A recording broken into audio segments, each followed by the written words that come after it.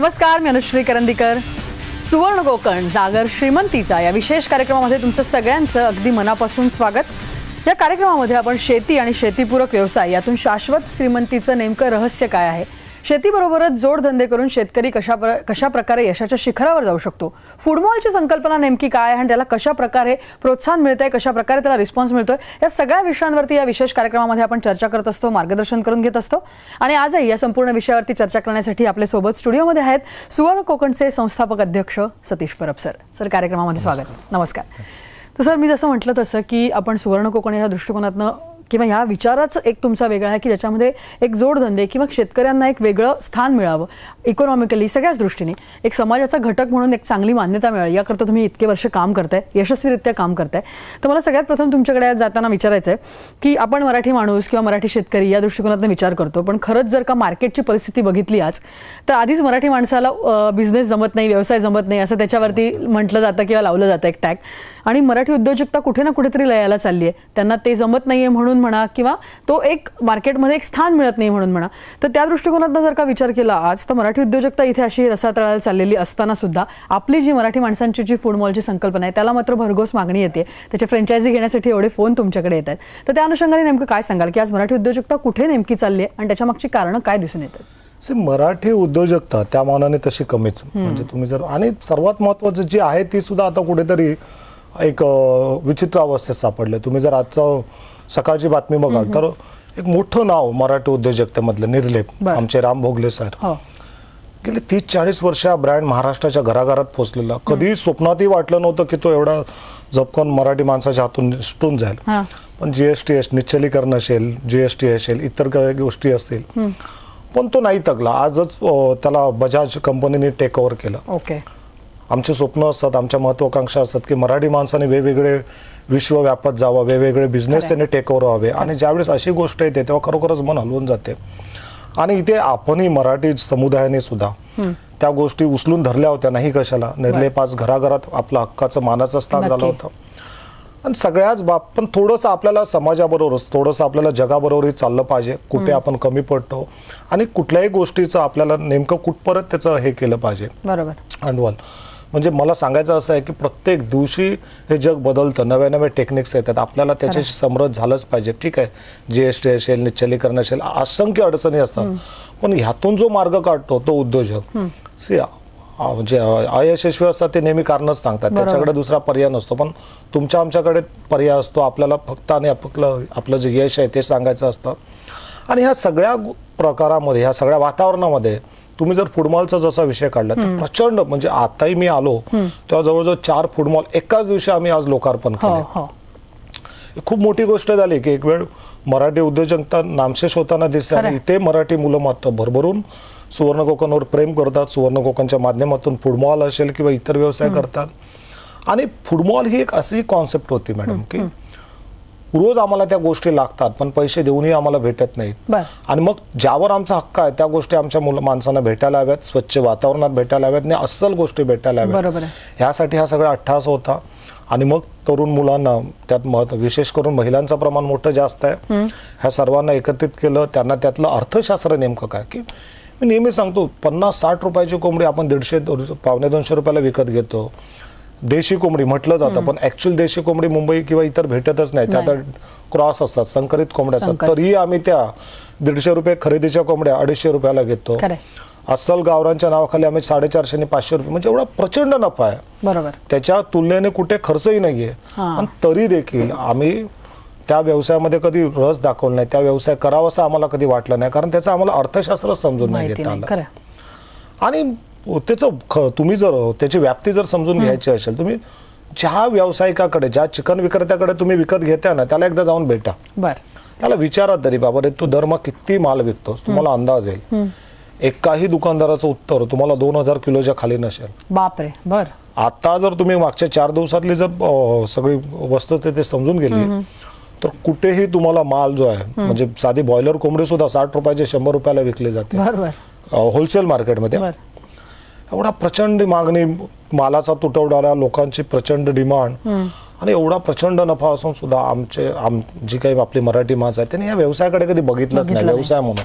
कारण त्यातला पैसाच आम्हाला समजला नव्हता. आम्हाला त्यातलं फक्त अडचणीच समजल्या की त्याला ही अडचण आहे त्याला स्लॉटर लागतो वगैरे वगैरे. पण अडचणींच्या पलीकडचं जे जग होतं ना ते खूप भव्य होतं. आणि त्यात मिळणारा पैसा प्रचंड होता शाश्वत होता. आणि म्हणून आता ज्या ज्या लोकांनी आमच्या दुकानं चालू केले आहेत त्यांचे आठ दिवस आता मला वाटतं आठ ते दहा दिवस उणे पुरे झाले असतील. पण जवळपास प्रत्येकाचा जो टर्नओव्हर आहे जो सेल्स आहे तो लाखाच्या खाली नाही आहे क्या बात आहे. बरं. ही सुरुवात नाही आहे आणि म्हणून तेव्हा मी छातीटोकपणे बोललो होतो की तुम्ही फक्त त्या शास्त्रोक्त पद्धतीत त्या सगळ्या गोष्टी करा. कारण लोकांना अस्सल लसीकरण केलेलं गावरान देशी म्हणजे अस्सल माल त्यांना हवा आहे. हायजेनिक माल हवा आहे. आरोग्याच्या दृष्टिकोनातून सगळ्या मापदंड तपासून जर तुम्ही काळजी घेऊन त्यां- त्यांना तो हवा आहे. बरोबर. आणि ह्या सगळ्या गोष्टी जर तर तुम्ही पूर्तता करता तर तुमचं मास- जे मासिक उत्पन्न आहे ते लाखाच्या खाली असू शकत नाही. बरं. आणि हे फक्त मी चिकन आणि त्याचे बाय प्रोडक्ट्स या गोष्टीबद्दल बोलत हो, हो. होतो त्यानंतर जे फुटबॉलमध्ये बाकीच्या ज्या गोष्टी येणार आहेत आमचे असेल कुठलेले मसाले असतील तांदूळ असतील खूप काही गोष्टी आहेत. त्यानंतरचा जर तुम्ही नफ्याचा अंदाजच लावू शकत नाही. आणि झालंय काय की तुम्ही ज्यावेळेस एखादी गोष्ट मार्केटमध्ये आणता त्याची मार्केटिंग करणं सोपं आहे. चॅनलवर बसणं पेपरात देणं वगैरे. पण लोक ते स्वीकारतात कधी जेव्हा त्याच्यात दम असेल. बरोबर. जेव्हा त्याच्यात खरेपणा असतो प्रामाणिकपणा. असतो. आणि आमचे सगळे फुटबॉल मला वाटतं ह्या प्रामाणिक तत्वावरच उभारतलेले आहेत. बरं. आणि त्यामुळे जो लोकांचा जो प्रचंड प्रतिसाद आहे जो आम्हाला अपेक्षितही नव्हता आहे. जो भरभरून भेटलाय. नक्की. मला वाटतं तुम्ही जसं आत्ता उल्लेख केलात की मालामध्ये दम असणं गरजेचं आहे. याचा अर्थ क्वालिटी क्वालिटीवरती आपण नेहमीच कधीही कॉम्प्रोमाइज कोणीच करत करूच नाही. नाही. नक्कीच. मग आता ह्या फुटबॉलमध्ये मला थोडंसं तुमची संकल्पना जी आपण समजावून सांगतोय गेले काही भाग ती मला पुन्हा एकदा विचारायची आहे तुम्हाला की जसं तुम्ही म्हणताय की एक हायजीनच्या दृष्टिकोनातून विचार केलेला आहे क्वालिटीच्या दृष्टिकोनातून विचार केलेला आहे. मग ही सगळी कॉन्सेप्ट घेऊन येताना या मराठी लोकांना बरोबर घेताना तुम्हाला काही अडचणी आल्या का? किंवा त्यांना समजावून सांगणं काही तुम्हाला कठीण पडलं का? नाही अडचणी असं नाही काहीच वाटल्या कारण लोक आसोसलेले होते. कारण तुम्हाला लोकांना जे हवं असतं ते जेव्हा तुम्ही देता ना तेव्हा लोक ते डोक्यावर घेतात. बरोबर. सो होतंय काय की आज इथे मुंबईमध्ये जर तुम्ही बघितलं एवढ्या घाणेरड्या वातावरणात त्या कोंबड्या आपण घेत होतो तिथेच पिसं पडलेली रक्तांची दुर्गंधी म्हणजे वीट यायची उलटी यायची अशा वातावरणात आपण ते. घेत होतो. आणि आता मात्र तुम्ही कुठल्याही फुटबॉलमध्ये जा सुवर्ण कोकणच्या तुम्हाला एक पिसाचा तुकडा दिसणार नाही कुठे रक्ताचा थेंब भेटणार नाही कुठेही दुर्गंधीचा नाम एवढ्या स्वच्छ आणि प्रसन्न वातावरणात तुम्ही घेता किंमत तीच. आणि मला वाटतं हा पहिला प्रयोग आहे मुंबई किंवा आजूबाजूच्या परिसरातला की ते जिवंत कोंबडी कापण्यासाठी अत्याधुनिक मशिनरीचा वापर केला जातो. व्यावसायिक कामगार चा उपयोग केला जातो. अन्यथा आज परत स्लॉटिंग करणारे जे होते ना ते कुठचे असायचे ते त्यांनाही माहीत नाही माहिती. कापणाऱ्यांना नाही दुकानदारांना माहीत खरंय खरंय. पण इथे तो व्यावसायिकपणा जपलाच नाही तर भिनवलाय. सगळ्या मुलांच्या मनात. आणि त्यामुळे लोक तुम्ही जर दादर किंवा प्रभादेवीचे किंवा डोंबोलीचे आमचे मॉल बघितलात की लोक त्याची आता मार्केटिंग करायला लागले की अरे इकडचं जे चिकन असतं ते घेऊन फक्त तयार करायचं एवढं रेडी टू असतं हां. सो त्यामुळे लोक आता त्याची जाहिरात करायला लागले. लोकांना ते समजायला लागलं की जे बोलत होते गेले दोन तीन महिना सगळीकडे ते प्रत्यक्षात आता अनुभवत आहे. आज परत लोकांनी तुम्हाला खरं सांगतो प्रभादेवला एक मावशी होत्या त्या सांगतात की अशी कोंबडी आम्ही कधी वीस पंचवीस वर्षात बघितली नव्हती आम्हाला सवयी नव्हती. आणि तुम्ही जर त्याचं जर तुम्हाला मूर्तिमंत उदाहरण बघायचं असेल तर तुम्ही मुंबईतल्या कुठल्याही चिकन शॉपच्या दुकानात जा. तिकडे जे पिंजरे असतील. ना त्याची हाईट एक ते सव्वा फुटच असते. बरोबर. आणि अस्सल गावरान कोंबड्या किंवा अस्सल देशी कोंबड्या ह्या दीड ते पावणे दोन फुटाच्या असतात. मोठ्या असतात बरोबर आहे. आणि आमच्या मॉलमधले सगळे जे पिंजरे आहेत ना त्याची जी हे लेंथ आहे उंची जी आहे. ती किमान दोन फुटाची असते. अच्छा. सो असा अस्सल माल जो गावरान हा. तो लोकांना भेटला आणि लोकांनी त्यावर समाधान व्यक्त केलं. लोक आता फोनवरनं ऑर्डर द्यायला लागल्या लोक आता ऑनलाईन ऑर्डर करा आणि प्रचंड मागणी वाढली आहे. पण आमची मर्यादा अशी होती की आम्हाला शंभरच्या वरती फुटबॉल उभारायचे नव्हते. बरं बरं. कारण तुम्हाला कुठे थांबणंही माहिती पाहिजे लोक रिस्पॉन्स देतात. आता लोकांची लाईन लागली बाबा आम्हाला फ्रँचायझी पनवेलला पाहिजे हो, आम्हाला. इकडे पाहिजे. हे मान्य होतं. जेव्हा तुम्ही चांगलं घेऊन होता तेव्हा त्याला प्रतिसाद मिळणारच हो. पण आपल्याला माहिती असलं पाहिजे की मला थांबायचं कुठे. कारण नुसतं ते चालू करून फायदा नाही. की हा जो अस्सल मालाचा जो पुरवठा आहे तो सातत्यपूर्ण झाला पाहिजे. बरोबर आणि हे सगळं जेवढं तुमच्या आवाक्यात आहे तेवढंच तुम्हाला केलं पाहिजे. आणि म्हणून मला खरोखर क्षमा मागावी लागते लोकांची खेदान सांगावं लागतं की आपण ह्या तीस तारखेपासून फुटबॉलची नव्याने नोंदणी पूर्णतः बंद करत आहोत. जी काय आहे आज आमची कार्यशाळा आहे अ, दादरला. तिथे काही लोक उत्सुक आहेत. सत्तर बहात्तर लोकांना ऑलरेडी दिले आहेत फक्त एक तीस एक लोकांनाच नव्याने द्यायचे. तेही आम्ही आज जे कार्यशाळेत येणार आहेत त्यांना ती देणार आहोत. आणि ह्यानंतर मात्र आम्ही फूड मॉल जो हे आहे त्याचं एक्सटेन्शन किंवा त्याचं वा विस्तारीकरण हे आता पूर्णपणे सध्या थांबवत आहे परत बघूया एक सहा महिन्याने ज्या वेळेस आपला तो जी सिस्टम जी हो. आहे तोपर्यंत ती ऑटो मोडवर जात नाही तोपर्यंत आपण हो. नव्याने जात नाही नक्की म्हणजे जसं तुम्ही म्हणालात तसं की प्रचंड मागणी येते याला आणि याचं कारण जे आहे जसं मी म्हटलं असं की एक उत्तम क्वालिटी आणि सगळ्या दृष्टीने एक दर्जा जो आहे तो सांभाळला गेलेला आहे सुवर्ण कोकणच्या माध्यमातून. सर आपण पुढेही बोलणार आहोत कारण शेतीपूरक जे उद्योग आहेत धंदे आहेत त्याच्यामधनं आपण शेतकऱ्यांना कसं पुढे नेतोय? या विषयावरती चर्चा पुढे सुरू ठेवणार आहोत परंतु इथे वेळ झाली एका छोट्याशा ब्रेकची तुम्ही कुठे जाऊ नका पाहत आमचा विशेष कार्यक्रम सुवर्ण कोकण.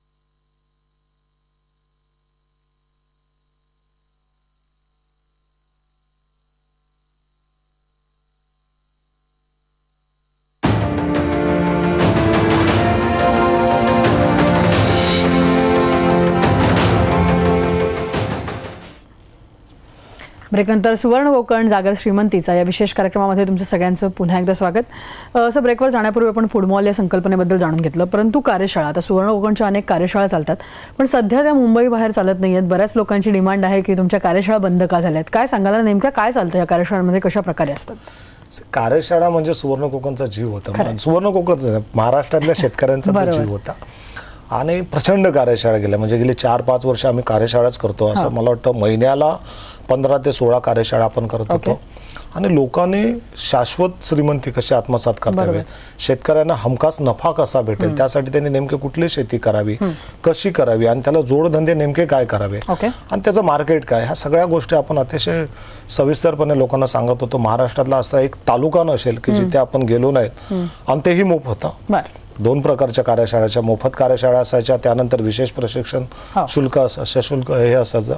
शिबिर असायचं अभ्यास दौरे असायचे अशी ती एक मांडणी केली होती सगळ्या गोष्टीची. पण गेली चार चार महिने तरी नाही जाता बरोबर. आपल्याला. पुढेही मे पर्यंत नाही जाता येत होतं. पण एवढा लोकांचा म्हणजे तुम्ही जर घाटकोर ऑफिसला बघितलं जवळजवळ दिवसाला अडीचशे तीनशे फोन येत असतात. कार्यशाळेबद्दलच विचारणा करतात की. नांदेडला करते नागपूरला करते कोल्हापूरला करते आणि मग या खूप काही गोष्टीवर हे केलं. आणि इथे फुटबॉलसाठी सुद्धा वेळ देणं महत्वाचं हो, होतं. हो, हो. पण आता ज्या पद्धतीत फुटबॉल एक छान पद्धतीत स्थिरावलाय लोक चे व्यवसाय सुरू झालेत नफा यायला सुरुवात झाला. हा, कारण हा व्यवसायच असा होता फुटबॉलचा की पहिल्या दिवसापासून गॅरंटेड नफा. बरोबर. तोही सुरुवात लोकांना कॉन्फिडन्स आला की जे बोलत होते ते खरोखरच आहे आणि एवढ्या मोठ्या प्रमाणात नफा लोकांनी कधी अपेक्षाही केली नव्हती. बरोबर. आणि मग आता आपण कार्यशाळा सुरू करतोय. आज जशी दादरला कार्यशाळा आहे तशीच. आता पुढच्या हप्त्यात म्हणजे पुढच्या येणाऱ्या रविवारी दादरला कार्यशाळा असेल एक. तारखेच्या रविवारी आम्ही पुण्यामध्ये आहोत. मला वाटतं. एक तीन महिन्यानंतर आम्ही पुण्याला चाललो आहोत. पंधरा तारखेला औरंगाबादला असेल ओके. एकतीस तारखेला नाशिकला असो अशा चार पाच कार्यशाळा आहेत आणि ह्या सगळ्या कार्यशाळांमध्ये आपण तेच विषय जे शेतकऱ्यांचं जगणं सुसह्य करतील शेतकऱ्यांना स्वाभिमानी जगायला मदत करतील आणि कमीत कमीत पैशात त्यांच्या शेतात त्यांना कसं सोनं पिकवता येईल हे सगळे आपण विषय घेतो. त्यात चंदन लागवड असेल शेळी पालन असेल कुक्कुट पालन असेल. असे विषय की ज्याच्यात त्यांना हमखास नफा भेटेल. पण तो हमखास जरी नफा असला तर त्यासाठी थोडी मेहनत घ्यावी लागेल. थोडासा अभ्यास करावा लागेल. थोडासा नवीन काही टेक्निक्स आहेत नवीन जे काही आधुनिक तंत्रज्ञान आहे त्याचा एक प्रॉपर वापर करावा लागेल. आणि ह्या सगळ्या गोष्टी ह्या सगळ्या कार्यशाळेमध्ये त्यांना सांगितले जातील. तुम्हाला सांगतो मातीतल्या श्रीमंतीसारखे श्रीमंती असू शकत नाही. फक्त त्या मातीत आपल्याला आपलं मन मिसळावं लागतं. एकदा का मन मिसळलं ना मॅडम की तुम्हाला हिरे मोती जातात मिळतात दुसरं खतच नाही पण होत आहे काय की आपण आजवर जेवढी शेती बघितली सत्तर वर्षात की एक पारंपरिक शेती. म्हणजे उदरनिर्वाहाचं साधन म्हणून आपण शेती करतो. जोपर्यंत तुम्ही शेतीकडे स्वतः उद्योग म्हणून बघायचं सुरू करत नाही ना तोपर्यंत. तोपर्यंत तुम्हाला नवीन नवीन प्रयोग नवीन नवीन गोष्टी त्यात जमणार नाहीत. खूप लोकांचा असा भ्रम झालाय की शेती आधुनिक शेती म्हणजे खूप खार्चिक शेती तर तसं नाहीये. छोट्या छोट्या गोष्टी आहेत. छोटे बदल जरी आपण केले उदाहरणार्थ मधमाशीची पेटी. हो. एक तीन चार हजार रुपयाची मधमाशीची पेटी ठेवली तरी तुमचं उत्पन्न चाळीस टक्के पन्नास टक्के दोनशे टक्क्यापर्यंत वाढतं. पण ते कसं ते समजून घ्यायला व कुठल्या जातीच्या मधमाशा आहेत कुठल्या जातीचे पेट्या खूप काही गोष्टी आहेत. आता चंदन लागवड आज आपण बोलतो मराठवाडा विदर्भात दुष्काळ आहे महाराष्ट्राच्या काही भागात. हो. तर ह्या कुठल्याही शेतकऱ्यासाठी चंदनासारखं वरदान असूच शकत नाही. की तुम्ही एक एकर चंदन लावा. जास्त काही नको. बर. अच्छा त्याला कुठल्याही जमिनीत हे चंदन येतं त्याला खताचं पाण्याचं एवढं मोठ्या प्रमाणात नियोजन नसतं. ओके. महाराष्ट्रातलं कुठलंही वातावरण किंवा कुठलीही जमीन त्याला. अतिशय योग्य आहे. फक्त तिथे पाणी साचता राहता कामा नये. ओके. त्याचं जर प्रॉपर नियोजन केलं खताचं असेल ह्याचं असेल तुमच्या पाण्याचं असेल तेही सुरुवातीच्या एक दोन वर्षात. हा. तर चंदनासारखा पैसा कशातच असू शकत नाही. बर.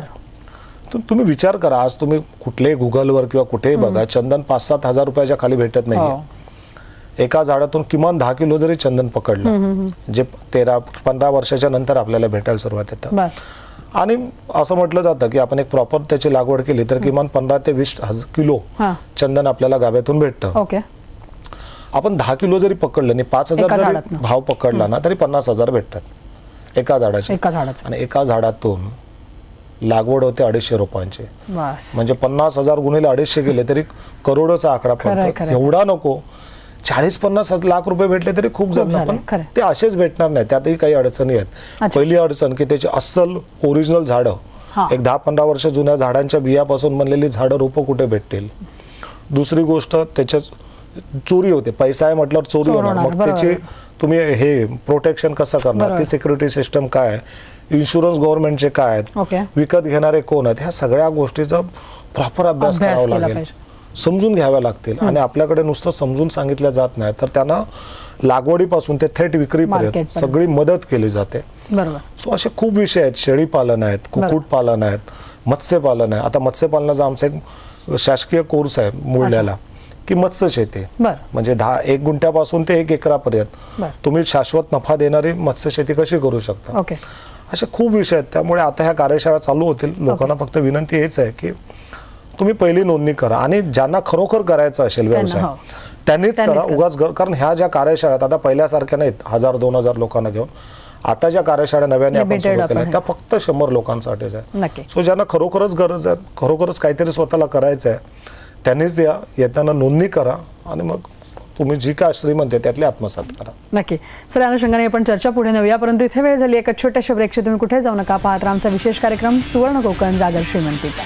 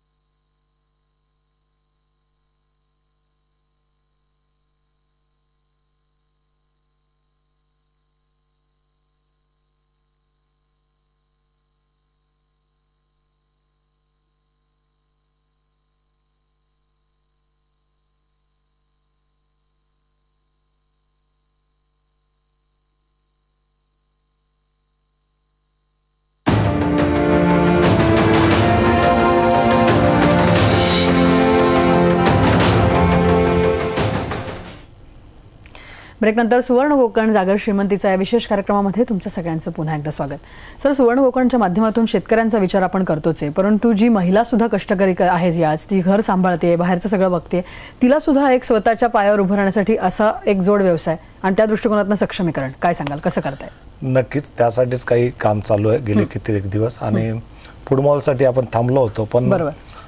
पुढचा मला वाटतं रविवारी कार्यक्रम आहे दादरला. तेव्हा आम्ही त्या कार्यक्रमाची घोषणा करणारच होतो. पण आज सांगतो की मुंबईमध्ये आपण आता सुवर्ण कोकण ब्युटी मॉल म्हणून चालू वा. आणि त्यात प्रत्येक घरातल्या प्रत्येक महिलेला त्याच्यातून अतिशय हक्काचा आणि घसघशीत रोजगार त्यातून भेटेल. ही तेवढी खात्री मी देऊ शकतो. आणि एक असं ते सेक्शन असेल की प्रत्येक मराठी महिला तुम्हाला ताटमानेने जगताना त्या निमित्ताने दिसेल. सो वाट बघूया पुढच्या शनिवारचे कार्यक्रमात आपण बोलूच पुढच्या शनिवारी ह्याच. टायमाला. प्लस रविवारी जो चोवीस तारखेला कार्यक्रम आहे दादरला त्याच्यामध्ये आपण त्याच्याबद्दल सविस्तर माहिती बोलणार आहोत. नक्की. आणि फक्त मी लोकांना सर्वांना एकच सांगेन की सुवर्ण कोकणच्या माध्यमातून तुम्हाला कुठलाही व्यवसाय सुरू करायचा असेल किंवा कुठला उद्योग चालू करायचा असेल, तर कमीत कमीत पैशात किंवा कमीत कमीत वेळेत किंवा कमीत कमीत भांडवलात आपण नेमकं काय चालू करू शकतो.